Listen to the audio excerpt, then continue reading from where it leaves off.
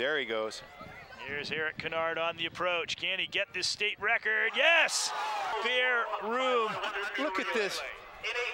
There was no question that he was over. Look at that. Uh, that's a good three, or four inches cleared.